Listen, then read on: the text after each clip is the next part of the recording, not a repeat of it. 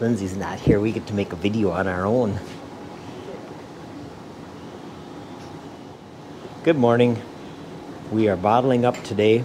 We made uh, about four gallons yesterday. It was a pretty decent run.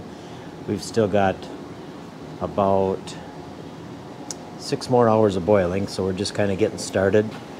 Jody's bottling up what we did so far, and think we have 150 gallons left to boil. So we're going to get that done this morning. Sorry about that light. We'll get that done this morning or towards noon, and then we'll go out and gather again. It won't be as big a gather today, I don't believe. It was kind of it rained last night around midnight, and then it quit dripping, and then this morning when we came over, it was running again.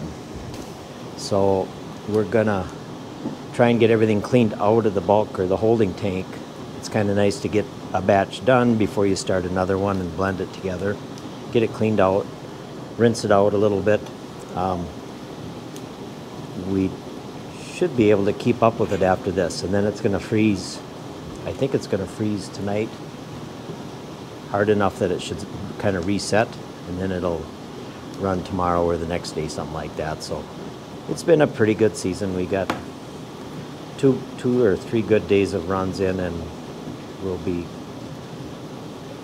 I don't know. We could almost have enough by the weekend that we could call it good for the year, I guess. But we'll see how it goes here and see how the crew hangs together. We've had such good help. Everybody comes over and gives us a hand, and without that, Jody and I would be swamped, or we just wouldn't do as much, I guess. So, anyway, that's kind of it. Kind of an update for today. Um, I can take a peek out here and see what the weather is like. It's about 10 o'clock. 10 o'clock in the morning, and it's um, just kind of a. It's, well, there's some blue sky over there. So maybe it's going to kind of start to break. We could walk over and see what. It's starting to get muddy on our trail now. It's not going to be as fun after this. Whoa. Didn't expect that. This is a good tree. It's right next to the sugar bush here. And that's dripping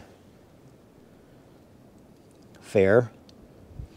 And I know that I emptied this yesterday, so this is overnight. So that's better than we thought. Um, so here's the back side of the sugar bush, sugar camp, syrup shack, the shed, some steam coming out up there. This time of year it gets kind of messy and ugly. There's our bulk tank and our permeate tank, what we draw off for clean water. We've got a little bit left this morning. It didn't freeze enough, so we didn't have to worry about it freezing in our pump. And all the buckets are sitting over there on the right there's all the buckets. I rinse them out with a permeate at night, and that's that's pretty nice. That permeate is some good stuff. You can clean out your filters with that. There's some piles of wood for the rest of the year. I think we have almost enough inside, but we got a bunch more that we make up through the season just to have enough. There's almost two feet of snow between myself and that pile of wood. It's crazy how deep the snow is out here. But here's an, yeah, and I know this was emptied last night, so that pail is roughly half full. So we'll be able to stay out late again tonight. That's a good thing. That's a good thing. And this is 1.0 on our cart. This is the handiest thing. Some people don't think so, but it is so handy as long as we're on this. I could make a whole nother video on this as long as Lindsay doesn't catch me. That's the handiest thing to have sitting right next to the fire. See how easy it is to fire when the wood is already loaded onto the cart. I think I used a heat gun on this last year and it's like 12 or 1300 degrees right at the on the doors. So it's hot enough to hot enough to make sure you don't keep your hand there too long.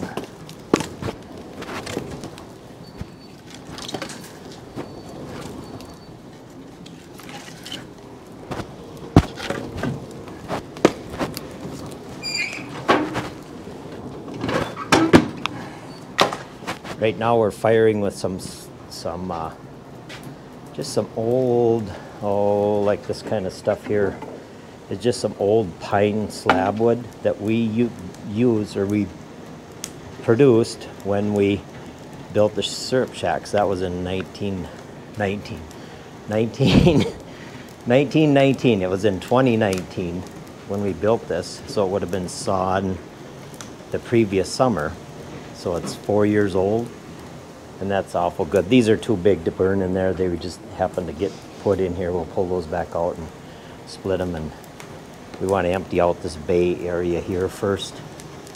And then after that, we've got our pile there, and then we'll use almost that much again, probably.